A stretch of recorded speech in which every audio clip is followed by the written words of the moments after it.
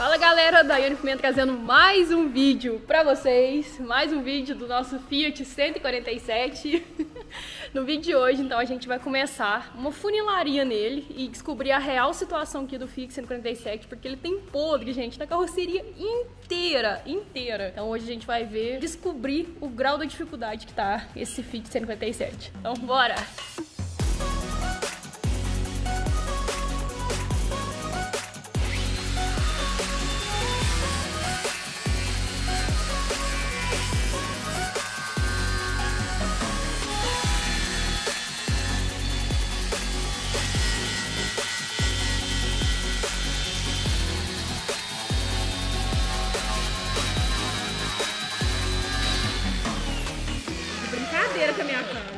esperava isso, Luca. Não, Desse jeito. tem muita massa.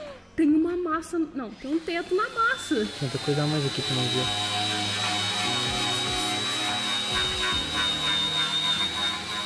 Chama uma mina, Luca. Ai, Solda. Meu Deus do céu. Nunca vi uma solda no teto igual aqui. Nunca vi também. E pra que esse tanto de massa? Olha aqui, tem uns 2 centímetros de massa.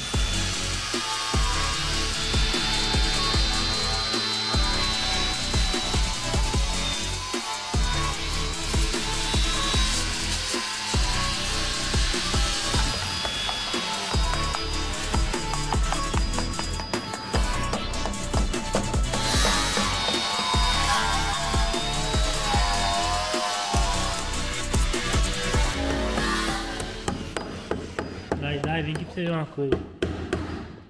Surpresinha! Que isso, Luca? Uma entrada de ar. A porra, ela passaram uma acima do podre, viu? Não, passou o massinho do buraco. Aqui deve estar tudo trincado. Passa aqui pra nós ver, ó.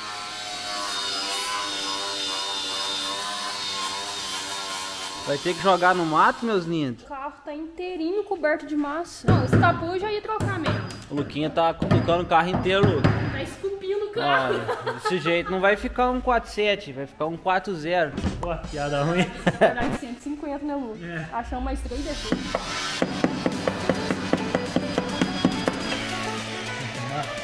Pode dormir tranquilo. Quando você acordar, vai ter surpresa.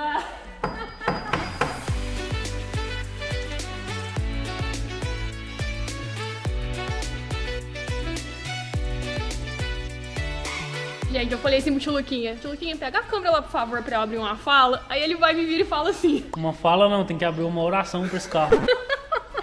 Olha só o que tá acontecendo. Essa sim é uma verdadeira lasanha. Eu nunca peguei um carro de massa. Isso aqui é um carro de massa. Aí o Tchuluguinho falou assim que tem uma trinca aqui. Aonde que é, Tchuluguinho? Aqui, ó. Na verdade, de todos os lugares que tá assim, ó, embaixo tem uma trinca, vai Deixa dar eu pegar a massa. lixadeira ali pra lixar. Misericórdia, Deus, eu sou teu filho. E meu pai falou assim que quando trinca em cima é porque embaixo já. A trinca começa embaixo, né? Isso aqui é só um reflexo do quebrado de baixo. E ele tem nas quatro pontas esses trincados. embaixo, né? Tem solda no teto, muita, mas muita massa. Gente, eu pego carro ruim, mas esse aqui superou. Esse tanto de massa. Olha aqui. Juro pra vocês, tem um dedo de massa aqui. É porque fizeram funilaria, daí não protegeram a lata com wash primer. Não, mas funilaria com tanto de massa não existe, não.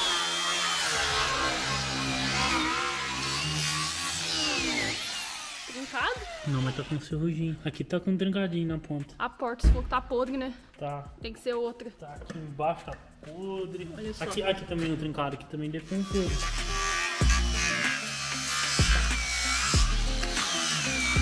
Jogaram massa ali Eu dentro. não tô brincando com vocês. Tá. Olha a grossura dessa massa. Olha isso. Dá pra medir na trena. Nossa.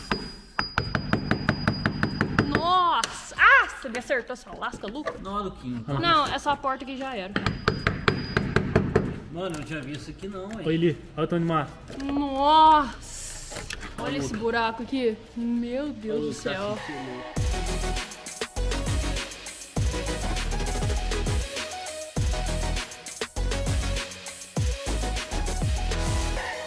Juro pra vocês que eu tô muito chocado. Porque o que que acontece? Eu tinha visto ali muitos, muitos podres, é lógico, quando eu busquei. Só que em partes trocáveis, né? Digamos assim. O painel traseiro, por exemplo, eu sei que tá péssimo, horrível. Só que eu sei que dá pra trocar. Agora, já essa coluna aqui, ó, eu não esperava. Como que eu vou trocar essa coluna? Não tem jeito. A parte do teto, como que eu vou trocar o teto? Não tem jeito. E esse carro aqui tá com solda nos quatro pontos, né? É, das extremidades dele. Ou seja, tá tudo quebrado por baixo ali, a parte do sifão que o pai tá me explicando. Porque tem que quebrar embaixo primeiro pra depois quebrar em cima. Podridão, gente. Varou, tá vendo? Juro pra vocês que eu não esperava. Aqui, ó, como que eu vou trocar isso? No meio do teto, soldado. E a quantidade de massa me assustou. E olha que eu sou lasanheira. Eu já mexi com um carro com muita massa, mas igual esse carro aqui eu nunca vi igual. Agora justifica o valor dele. Tem duas soldas aqui, nem preciso bastar pra ver, porque tá dando pra ver pelo Volume pelo vo- solda. é, pelo volume da solda aqui, ó. Olha isso. Também. Olha lá o podre. Bater aqui a fundo. Essa parte aqui também dá pra trocar, né? Que já faz parte do paralama, mas essa parte aqui da churrasca, tipo a churrasqueira aqui, já não. A porta de lá tá condenada, porque a parte aqui da, da lata, gente, deve virar um pó. Vocês não estão entendendo. Quantidade de podre, de massa, ferrugem, me assustou demais, juro pra vocês. Achei uma trinca ali também na caixa de roda. Não é uma simples trinca. Que varou, sabe? Não sei se tá dando pra ver na câmera, mas eu tô vendo o carro lá de dentro aqui. Essa roda, gente, olha essa roda. Aqui, ó, onde eu tô relando, já é a câmara de ar do pneu. Não tem roda mais aqui, ó. E eu tava lendo os comentários do último vídeo e vi um comentário lá falando o seguinte: é, esses carros aí normalmente não estão bons mesmo. Beleza, né? Já me senti de boa. Só olha se o número do chassi tá inteiro. Se tiver, beleza. Se não, cancela. Aí eu fui conferir, né? Por que, que eu não conferi antes da compra? Olha só. Aqui o tio Luquinha achou mais ouro, um baita ouro. E ali ele descobriu outra coisa, olha isso. A lata tá bem podre. Colocaram o campeão em cima. Colocaram o capel em cima da ferrugem, em cima do podre. Então não tem cofre. Olha isso. Aqui tam- olha o lugar que tá trincado ali, bem na, na suspensão. Aqui tem até solda. Mas aqui dividiu, Luca, aqui no cantinho. Ó, só tirar a casca. Aqui, ó. Ó o furo. Olha lá. Hum. Só a chave KPO. é. Vamos lá pra parte que interessa. Você sabe onde fica o chassi, Luca? Tem aquela plaquetinha lá que a gente viu aquele dia. Não é aquilo. Fica atrás lá? dela. É de lá. Fica atrás dela. Na frente. Não? Não, atrás da plaquetinha. Aqui aí, é? É, olha lá, ó. Dá pra ver um, um 8 aqui, ó. Tô vendo um 7. Nossa. Aí, ó. Ah, aqui dá pra ver. Nossa, tá parecendo só os últimos números. Vai, passa de novo. Na câmera não tá pegando. Aí, gente, ó. 2, 8, 7. 1, 7, não é? Eu vi um 8, um, um e um 7. Esse carro não tem nada. Quando os inscritos falam, filho, pode investigar. E eles sempre estão cobertos de razão. Não tem estrutura, tá puro massa e não tem número de chassi. Tem metade, finalzinho só. Você sabe que você faz esse finalzinho? Vários nadas. E como é que faz? Não tem como recuperar? Eu sei que tem como remarcar, ó. Vou até mandar uma mensagem pro meu despachante, vamos ver. Olha O quê? Ah, Ixi, Mário. borracha, olha isso, pô, olha isso. Olha lá, saiu na mão. Nossa! O carro tá tudo maquiado com o KPO. Acabei de mandar mensagem pro meu despachante, esperando ele responder. Enquanto isso, o Luquinha achou mais um podre. Tipo no cofre também, né? Aqui no fundo da bateria. Aqui uma trinca, ó.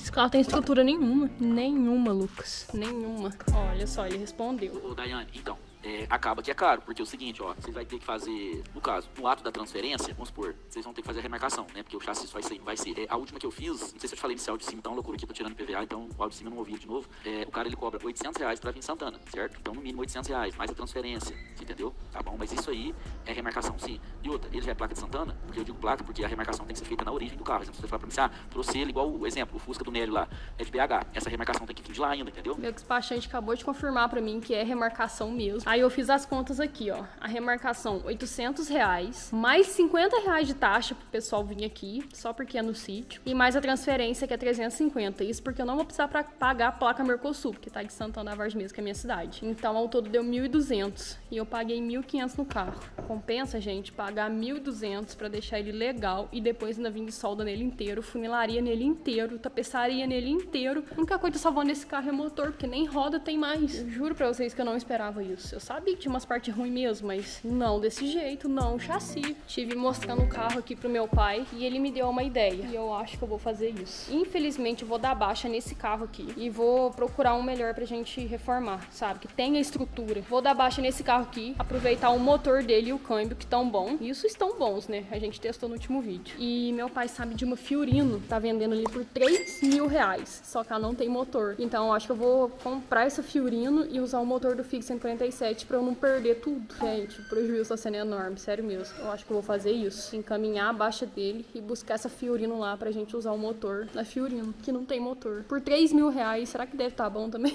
Ah, não, se tiver assim, eu desisto de comprar carro velho. Esse fitinho aqui, ele é muito bonitinho. Eu não acredito que ele tá condenado.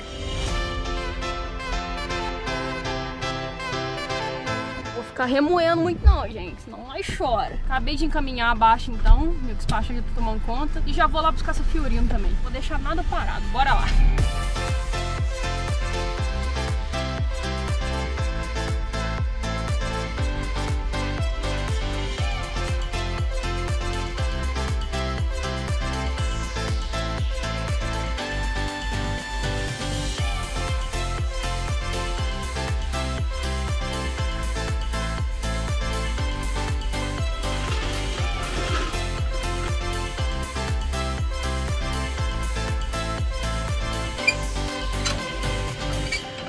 vez vai buscar carro esse calor. Então, não tem um dia de sombra.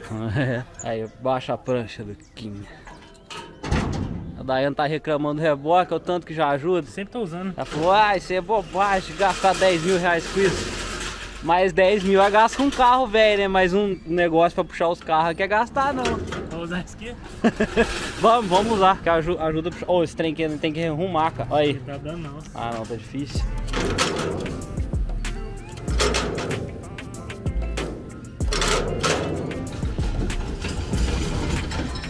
Eixo de tração, tá sem, tá sem tudo, porque tá sem câmbio. Então a roda tá boba, tá sem estabilizador. Tá louco até colocando reboque amanhã, ué. Então, só tá com um terminal da, da direção. Não, ué. A de lá não tá virando, então. Uma vira muito, a outra vira nada. A gente tá meia hora tentando colocar ela aqui. Vocês viram que bacana essa Gambi aqui? essa. Deu uma esplacadinha aqui, passaram um spray verde. Pra não já. É, mas é um verde um pouco diferente. Aí passa tinta de parede, base d'água. O problema é quando começa a olhar e acha, né?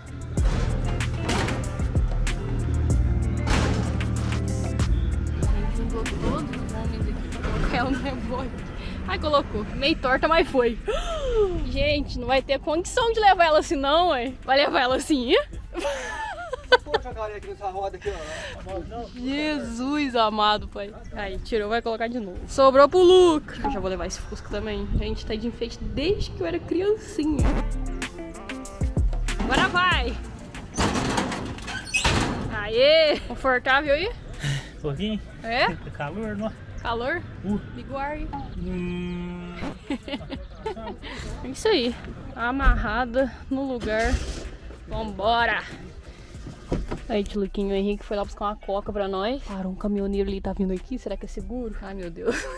e aí, Ai, qual que é, é seu tá? nome? Plínio. Você é de onde, Plínio? Matheus Leme. Você assiste qual de nós? Tudo bem? Comecei por você. É? Depois foi pro Ferrusco. Ferrusco do Henrique e o tio Luquinha. Ah, o mais doido. Tá? e aí, bom? Dá um salve aí, hein? Vou, vou postar o celular. Pode, postar. bom demais? Bom, toda vez que eu buscar um carro velho, eu pego uma coca. Dá sorte que eu parei de beber refri. Eu ia perder minha dela e agora. Pô, reconheci pela carretinha, cara. É mesmo? Lá ia passando, foi sim, é eles, velho. Conheceu pela carreta. Pela carretinha. foi eles, eu vou parar. O que, que você achou do novo passar. O que, você achou? Tá pior do que o Fit Uno? Não sei. Fit Uno não. O 147. Nem te conto o que aconteceu. Deixa eu ver lá, me deu. É. Ô, gente, eu vi ar no Cis, cara. É bom, né, cara? Nossa, eu vou de um bonde, sabe? Uhum. Vocês pegam as lasanhas pra mexer. É bom demais. Eu falo pra eles. Eles não gostam muito, não. Eu gosto mais. Não, os carros dela, pelo amor de Deus. E aí, o que, que vocês acharam da compra da vez? Tá bem melhor que o Fix 147, gente, Luquinho. Tá bem melhor? Eu tinha falado pra vocês que a gente tinha visto uma Fiorino por 3 mil, mas meu pai chorou lá no rolo e conseguiu por 2,750. o documento tá em dia, eu só não sei onde, por onde anda o recibo dela, mas não deve estar muito difícil de achar. Na cor verde, ela é ano 89. Se eu não me engano, começou a fabricar a Fiorino em 77, então é um ano bom, né? Mediano, né? Fiat, né? Fiat não tem erro, eu gosto muito de Fiat. O que, que tá pior pra Lu? Aqueles acabamentinhos ali lateral ali, ó, que fizeram, né? Acabamento novo. Esse, né? É. Aqui já tá com uma trinca, um pouquinho de massa lascada, mas em vista do Fiat 147 não é nada. Tá com um pouquinho de podre também no assoalho, né, tio? Tenta mostrar pro Tem uns bacana. pequenos furos aí. Ah, Tem um furinho aqui atrás. Tá terrível. Ah, Médio, razoável. Tem um médio. furo aqui. É, não tá mais de boa que o Fitini. Aqui, ó, tem uns furinhos aqui na caixa de ar. A porta não tá abrindo muito bem, na verdade. Ó, só que eu falei. Não, por, não vai abrir. só por dentro, né? É, só por dentro. Esse paralama aqui mesmo pra mim tá condenado, né? Já deu uma estragadinha. Bastante ferrugem. Pneu não tem pneu. Olha isso pra você ver. Você já sabe onde encontrar, né? E qual cupom usar também. Vou deixar pro aí na tela. Nossa, esse aí tá Fórmula 1. O pneu tá no arame, o para-choque também tá no arame. E como eu falei pra vocês, sem motor e câmbio. Na verdade tem um motorzinho aqui, só que eu acho que não tá funcionando. Então a gente tem ali o motor e câmbio. Dando baixo, colocando aqui, vai ficar top. Vamos ver a interna dele. Olha os banquinhos rasgadinhos, carpete estranho. o painel não tá muito ruim não, né? Tá mais sujo, né? É, não tá tão ruim assim. O forro de teto até que tá legal. Vai lá, gente, comprar carro assim pra montar peça é terrível, né? E aqui na caçamba tem mais ainda. E o nome desse, desse verde, hein? Como é que será, gente? Comenta aí. Olha esse recurso técnico também pra segurar a tampa. A cordinha tá boa, tá melhor que a tampa. Se não é comprar outra tampa, Luca, não é guarda a cordinha pra nós. Vamos lá ver a tampa de lá? É pra você ver? Não tá tão ruim, né? Só não tá bom. E aí, você acha que foi um bom rolo? Que o Fit em 147. Pra não perder tudo, né? Tivemos que fazer isso.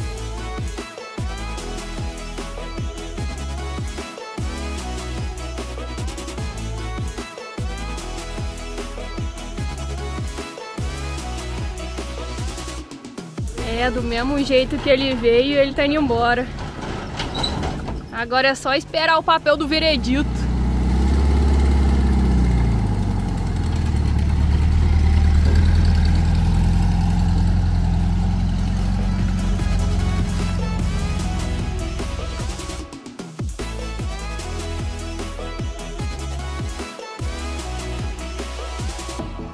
Começa então essa nova saga mais que inesperada.